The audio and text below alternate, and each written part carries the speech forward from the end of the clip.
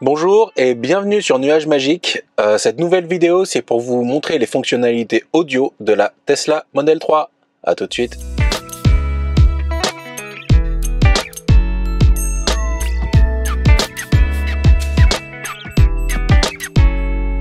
À travers une vidéo, je ne serai pas capable de partager avec vous les qualités audio de la Tesla Model 3. En revanche, ce que je peux faire, c'est partager avec vous comment j'aime l'utiliser au quotidien euh, et partager de manière générale les fonctionnalités audio. Donc c'est ce qu'on va faire tout de suite. Donc pour développer la fonction audio de la Tesla Model 3, il y a un picto ici qui dit bien ce qu'il fait. Donc on clique dessus et là on a le développé de tout ce que la Tesla Model 3 propose en audio. Euh, d'ailleurs, il faut savoir qu'il y a plusieurs types de fenêtres pour gérer l'audio. Donc là, on a la vue globale où on a tous les détails. Euh, si on prend et qu'on glisse un petit peu vers le bas la fenêtre, on voit qu'on n'a plus qu'un résumé ici avec euh, bah, les derniers morceaux écoutés. On a ici le morceau qui est en cours de, lecture euh, et on peut facilement mettre play, avancer, reculer ou euh, mettre des morceaux en favori. Et il y a encore une autre vue qui est la vue réduite. Dans la vue réduite, on a encore ici euh, la pochette qui s'affiche. On a le nom du morceau, on peut encore avoir les contrôles. en revanche, on n'a pas l'historique de ce qu'on a écouté auparavant. Donc pour basculer entre ces vues, j'ai le choix entre prendre ma fenêtre et la tirer successivement dans les différentes positions. Mais il y a aussi une manière un peu plus rapide, c'est juste de cliquer ici sur euh, la pochette et quand je clique, bah, automatiquement je navigue entre les différentes possibilités. Et à tout moment, si je veux rebasculer sur euh, la carte, le GPS, un clic ici et je rebascule sur mon, sur mon GPS. Donc, j'affiche de nouveau. Euh, là, je suis en mode USB. C'est le mode que personnellement je préfère. La Tesla Model 3 peut lire des fichiers du type MP3, c'est très classique, mais aussi des fichiers FLAC. Les fichiers FLAC, ce sont des fichiers audio sans compression. J'achète pas mal de fichiers FLAC chez Cobuzz, c'est une plateforme française qui permet d'écouter de la musique soit en streaming, euh, soit en téléchargement définitif. Et quand on le télécharge, on peut choisir le, type de format qu'on veut. Donc euh, il y a de l'ALAC pour ceux qui ont de l'Apple, il y a du FLAC euh, qui est plus universel. Euh, on a de la musique sans perte et on a aussi de la musique haute résolution qui est accessible, toujours en ALAC ou en FLAC. Et la Tesla Model 3 elle peut lire tout ça. et c'est vraiment top. Donc du coup là j'ai toute ma base de données de morceaux que j'aime beaucoup qui sont stockés sur euh, la micro SD qui est branchée en USB sur euh, la Tesla Model 3 et donc du coup j'y accès comme ça. Euh, donc automatiquement la Tesla va parcourir la clé USB. si jamais on, se balade en mode dossier, on peut parcourir en, fonction des dossiers qu'on a créés. J'ai créé les dossiers de manière très classique en, créant à chaque fois pour chaque artiste un dossier et pour chaque album un sous-dossier euh, au sein des artistes. Euh, donc du coup, moi, ma vue dossier est très proche de ma vue artiste. Mais on n'est pas obligé de l'organiser comme ça. Euh, la voiture parcourt les, les dossiers et sous-dossiers et indexe tout sous forme d'artistes, d'albums ou de genres. Donc les artistes, albums et genres, ça va dépendre de la qualité euh, des, des, métadonnées, donc la qualité des, des, des, informations que vous allez mettre dans le fichier FLAC ou dans le fichier MP3 que vous allez utiliser. Si les informations sont bien éditées, euh, vous allez retrouver un découpage par artiste qui sera satisfaisant. Si par exemple euh, vous mettez des majuscules ou des accents euh, sur certains sur certains artistes pour certains albums et pas pour d'autres, ben, vous aurez des, des doublons qui vont apparaître. Euh, donc ça marche très bien. Euh, dès qu'on branche la clé USB, très rapidement, toute l'indexation se fait. Et la navigation, donc là j'ai une bibliothèque qui doit faire à peu près 70-80 euh, gigas. et la navigation est, est, très fluide. Donc là je peux naviguer directement par titre. Et vous voyez, ça va vraiment très très rapidement. Donc c'est super fluide et, c'est le meilleur de ce qu'on peut en tirer en termes de qualité audio. Euh, donc l'autre chose à voir, c'est que quand on est en mode USB, on a euh, les pochettes qui s'affichent. Ici, le morceau que j'écoutais, euh, on a bien marqué périphérique USB et on voit, on voit la pochette. On peut rajouter les morceaux en favoris en cliquant ici sur l'étoile et à partir de là, les morceaux viennent s'ajouter dans la liste favoris qui permet de, ben, de naviguer plus facilement au quotidien parmi ses morceaux préférés. Euh, et ici, on peut euh, ajuster euh, les réglages audio, donc equalizer, balance pour régler l'impression, la perception de la provenance du son. Et on a quelques options. Le son immersif, ça donne un espèce d'effet un peu 3D. Euh, je l'utilise pas. Euh, et la commande mobile. La commande mobile, ça vous permet euh, de gérer le son depuis l'application Tesla, donc de le mettre sur pause, de changer le morceau. donc voilà l'écran USB. Il y a beaucoup de choses qui sont en commun entre l'écran USB et les autres écrans. Donc on y, reviendra très très rapidement quand on va passer sur les, les autres onglets. Euh, donc encore une fois, dans la partie USB, je mets vraiment mes morceaux préférés en, qualité maximum. Et les morceaux un peu du moment, que je serais peut-être pas amené à écouter euh, si souvent que ça, mais qui sont juste de, de passade, euh, bah, je serais amené à les écouter plutôt à travers Spotify. Donc Spotify, vous connaissez peut-être déjà, c'est un service de, streaming euh, qui permet d'avoir accès à une bibliothèque euh, très importante. Euh, donc Spotify me donne accès à, de la, musique, à la musique sous plusieurs formats. je peux sélectionner sorties pour voir les derniers albums qu'ils ont qu'ils ont qu'ils mettent en avant. je peux naviguer à travers les les playlists recommandées. Voilà. Euh, et quand je sélectionne un morceau, par exemple ici, donc automatiquement euh, la musique euh, s'enclenche. Là, je suis en 4G, le signal est, vraiment très bon, donc aucun souci pour écouter sans que ça lag, sans que ça bug. et si le morceau m'intéresse, je peux cliquer sur plus, et à partir de là, en basculant dans la vue bibliothèque et en allant dans titre, euh, on voit que le morceau s'est ajouté. Ce qui fait que si a posteriori je veux, écouter ce morceau plus simplement, ben, j'ai juste à, parcourir ma, bibliothèque. Euh, je peux aussi ajouter des playlists. Euh, au lieu d'ajouter titre par titre, je peux carrément ajouter des playlists. et je peux aussi ici, on voit avouez-vous un compte Spotify. Je peux lier mon compte Spotify, Spotify Premium euh, à, la Tesla Model 3.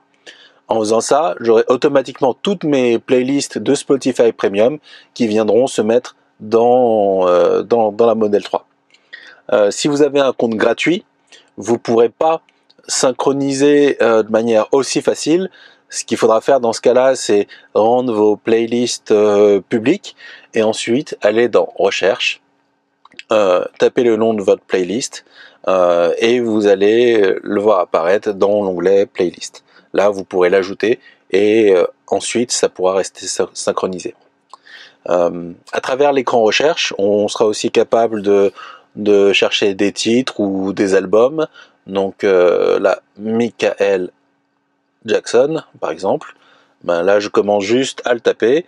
Euh, il me donne la meilleure playlist, euh, les albums qui où, où, il y a Michael G, donc Michael Jackson, euh, les artistes et, et, ainsi de suite.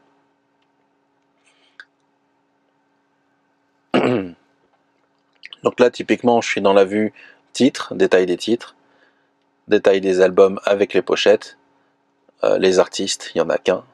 Alors oui, autre chose. Euh, quand je suis dans l'onglet recherche, euh, si jamais je me mets sur la vue artiste, il va me proposer plusieurs sources. S'il trouve des sources sur l'USB, il me les propose en priorité. Ensuite, il me propose du streaming, et si on était sur un titre qui lui faisait penser à une radio, on pourrait aussi avoir une sous-catégorie radio. donc voilà pour la partie streaming, très utile au quotidien. une autre partie utile au quotidien, c'est la radio, tout simplement. Donc la Tesla Model 3 est dotée de la FM et de la radio numérique, donc la, DAB. Euh, et, du coup, ça permet d'avoir accès à une quantité euh, assez importante de, stations ici en Ile-de-France, zone couverte par la DAB. La Tesla Model 3 euh, switch automatiquement de FM à DAB en fonction du signal. Donc ici par exemple je me mets sur euh, FIP ou sur France Info. Là je suis en extérieur donc j'ai un bon signal côté DAB. Là on voit la qualité du signal. Si je viens à rentrer dans le parking en souterrain, automatiquement ça basculera de DAB à FM et ça se fait de manière très transparente et facile. Euh, sur la sur la Nissan Leaf, j'avais pas ce fonctionnement là il fallait choisir soit du DAB, soit de la FM, et ça faisait pas la, bascule automatique, automatiquement. Et en plus, j'avais un petit bug, alors ça a peut-être été résolu depuis, mais sur certains, sur certaines chaînes, par exemple sur France Info, régulièrement sur la Nissan Leaf, euh, bah, la DAB se mettait en pause, revenait en arrière de quelques secondes, euh, puis après ça repartait, puis après ça revenait un peu en arrière. Donc voilà, comme si c'était un petit peu buggé. Euh, donc ça, j'ai pas ce souci-là, j'ai pas ce souci-là ici. Euh, donc là, je peux parcourir les différentes stations. On a encore la possibilité d'ajouter des, stations favoris. Et une fois que c'est en favori, euh, très simplement, je peux, je peux basculer entre les, différentes stations. et le dernier point, c'est le mode manuel. Donc là, on doit juste mettre le canal qui nous intéresse et on peut y arriver directement. 105.5, écoutez, et on y arrive directement. France Info. Et là, vous avez vu, j'ai tapé le canal FM et automatiquement, euh, il a basculé en DAB parce qu'il il a une qualité de signal suffisante. Donc voilà pour la partie radio. Euh, une autre chose dont je vais peut-être pas beaucoup parler parce que parce que je pense que c'est quelque chose que vous connaissez déjà sur euh, un petit peu tous les véhicules euh, du marché, c'est le Bluetooth. On peut connecter plusieurs téléphones en Bluetooth pour pour balancer de la balancer de l'audio. et quand on le fait ici, on va dans l'onglet téléphone, on a la liste de tous les téléphones qui sont appairés, qui apparaît ici, et on peut facilement switcher d'un téléphone à un autre. Donc euh, voilà, une fois qu'on clique sur le téléphone, euh, on a le son du téléphone qui apparaît euh, dans, la, dans la Tesla Model 3. En revanche, on peut pas naviguer à travers les morceaux un peu comme ce que je faisais en mode USB ou dans la bibliothèque Spotify. On doit tout piloter ensuite depuis le téléphone. si vous avez par exemple un abonnement Apple Music ou un autre abonnement de streaming, c'est un moyen d'envoyer euh, d'envoyer l'audio de votre téléphone vers la Tesla Model 3. Ensuite, on a euh, TuneIn qui est une fonction très très intéressante. Euh, ça permet de récupérer des radios internet via la connexion 3G, 4G, Wi-Fi en fonction de là où vous êtes. et du coup, vous avez accès à des radios partout euh, dans le monde. Euh, vous avez aussi accès à une bibliothèque de podcasts. Euh, typiquement, si je vais dans parcourir, si je fais parcourir par lieu, je peux naviguer entre les différents continents. Je vais dans Amérique du Nord, îles Caraïbes. Là, par exemple, je vais choisir Guadeloupe. Et ici, bah, j'ai la liste de toutes les radios locales, enfin en tout cas une bonne liste de radios locales en Guadeloupe. Euh, donc c'est vachement pratique. Euh, si jamais je lance ça, donc il y a un petit délai. Euh, il faut savoir que quand on est sur ce genre de, radio, de radio internet, la qualité audio, ça va dépendre de qualité du flux que la radio envoie vers la plateforme TuneIn. alors là encore, pour TuneIn, on a la possibilité d'utiliser son propre compte, si on en a un. donc voilà. à travers tout ça, donc comme je vous l'ai dit, ce que je préfère niveau qualité, c'est l'USB. Alors je parle pas de la radio, hein. la radio de toute façon quand on veut écouter de la radio, euh, on le met en mode DAB, ça marche très très bien. Euh, TuneIn, je l'ai plutôt utilisé pour des, radios euh, euh, auxquelles j'ai pas accès ici en région parisienne, donc j'ai pas fait le test de comparer la qualité audio TuneIn par rapport à, à la DAB, et la DAB est déjà très très bonne, donc, donc voilà. en revanche, en dehors de ça, entre Spotify et mon abonnement Apple Music, euh, utilisé à travers le Bluetooth, j'ai une grosse préférence côté qualité audio euh, pour l'abonnement Apple Music qu'on envoie en Bluetooth vers euh, vers la voiture. Euh, je suis pas forcément mélomane averti, mais je ressens bien la différence. donc, bah, je vous invite à à, faire les essais. Euh, si vous allez en Tesla Store, vous pouvez connecter votre téléphone et, voir un petit peu comment ça marche. Mais moi, dans mon cas, ouais, je trouve bien que que si on veut de la, bonne qualité, on a l'USB. Ensuite, on a la liaison Bluetooth pour peu qu'on ait une source euh, un peu sympa. Euh, et enfin, on a Spotify la navigation dans Spotify reste quand même agréable hein, parce qu'on a les playlists recommandées, on a des sorties et surtout la fonction recherche est, très puissante. Le clavier virtuel de la Model 3 est agréable. On a la partie lettres, on a le pavé numérique qui est tout le temps affiché. Euh, donc euh, voilà, ça c'est vraiment son souci qu'on navigue à travers les à, travers les morceaux. Après, si on a déjà un abonnement Apple Music ou autre, bah, on a aussi bien fait de le contrôler par Siri. Euh, donc euh, avec Siri, moi je peux facilement dire bah voilà, je veux écouter tel ou tel artiste, tel ou tel morceau, voire même telle ou telle radio. donc voilà, j'utilise pas mal cette fonction-là quand j'utilise pas l'USB. donc voilà un petit tour d'horizon de ce qu'on peut faire niveau audio avec la Tesla Model 3. Encore une fois, si vous vous intéressez à la musique via USB, pensez à faire un tour sur Cobuzz. C'est une boîte française et, ils ont euh, des choses sympas à proposer. Euh, dans mon cas, ça fait, ça fait bien le boulot. À la prochaine. Salut